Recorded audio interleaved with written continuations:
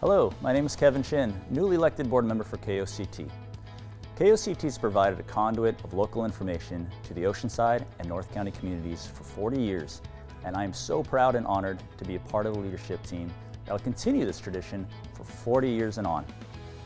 Now, last year, I opened up Switchboard Restaurant and Bar in downtown Oceanside, and I have relied on KOCT's Channel 19 during the pandemic to get government and economic updates so I can adapt to the constant changes that were occurring.